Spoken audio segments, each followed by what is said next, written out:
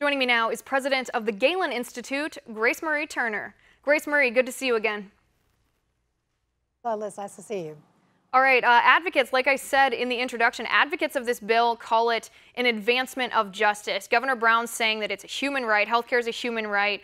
Uh, is it an advancement of justice, Grace Marie? Now, I think one of the things we really have to think about, Liz, is what this means for those who are here legally, both citizens and legal immigrants, and their access to care. First of all, they're saying right now that the people who sign up, the illegal immigrants, who sign up for coverage under the exchange will not be eligible for subsidies. That's how they're getting the foot in the door. You know that the next request is going to be to subsidize that coverage because it's going to be very expensive. It's hard to find a policy on the exchange that costs less than about $500 a month $6,000 a year, and most of those policies have big deductibles of five to $6,000. That's going to be, that's very, afford, very difficult for people to afford now, and it's going to make it even more difficult for people who have lower incomes to afford that coverage. So just be ready because the next thing they're going to do is say they need to subsidize this coverage. But at the same time, these people are going to be competing with people in the United States here legally for the same physicians and hospitals to get care. I had somebody write to me, a father who said, Did they not understand that when they add millions more people, in this case in California, hundreds of thousands more people, to the exchanges and to Medicaid, it makes it so much more difficult for people who don't have other options to get care. So I, I, it's going to likely crowd out coverage and access to care for people who are here legally, and it is going to cost more money over the long time, term as they begin to ask for subsidies for undocumented immigrants. And President Obama, when this law was being passed, one of the absolute promises he made to the American people was that this would not provide coverage for illegal immigrants. California is going to be the first right. in line to request a waiver to cover them, but you can be sure many more are going to follow. Right, and Grace Marie, correct me if I'm wrong here, but part of Obamacare written into the law makes it illegal to provide those subsidies. So it's not something that could just be changed by one state, by California saying it's okay. That, that would have to be changed at the federal level by an act of Congress signed by the president, correct? Exactly right.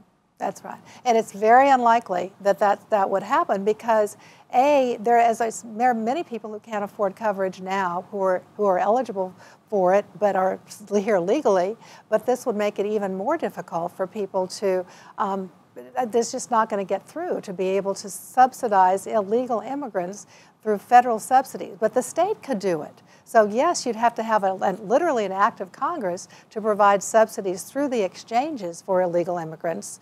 But that doesn't stop California from providing some sort of a stipend so that the state's taxpayers would pay for it. Right. Is this a loophole then, the first step to uh, going back, walking back that promise that President Obama made without making it appear as if he's breaking a promise? Is this the loophole that they've been waiting for? Because it sounds like, when you present this, it sounds like they're saying illegal immigrants would have to pay for this with their own money. This isn't something that would cost any more to the state or the federal government. They won't be eligible for subsidies, yet they're packaging it like that. So the next step is saying, well, it makes no sense if they're eligible, if they can't pay for it. What are we going to do now? They would have to subsidize it. And whether or not it would be through the state subsidizing it or whether or not it would be through changes in federal law. And I pres presume if the same people who controlled the Congress and the White House when this law was passed, they would have a much more favorable audience for covering illegal immigrants and they wouldn't therefore have to worry about the President Obama's promise because by then he would be out of office. But this is again, Liz, a request. This is legislation authorizing the government to request a, the governor to request a waiver to allow coverage of illegal immigrants.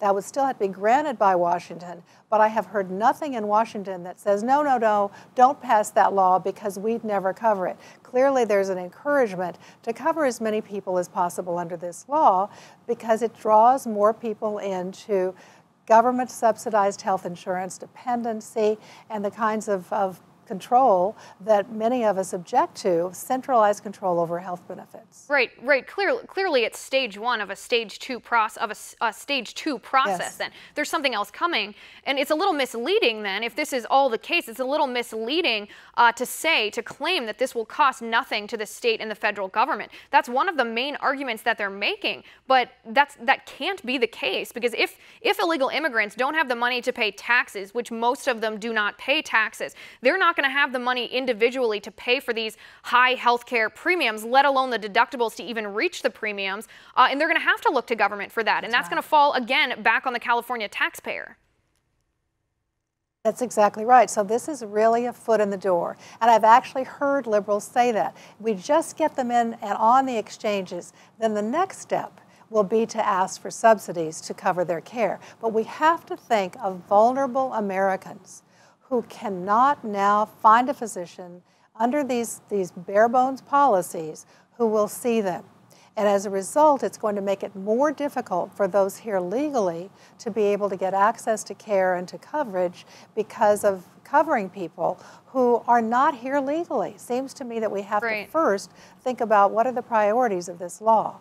Right, so that would have an enormous impact on uh, Americans, particularly those in California, because that's the state we're talking about, but not just economically, but in our personal lives, our quality of care will diminish as well as our paycheck diminishing. We're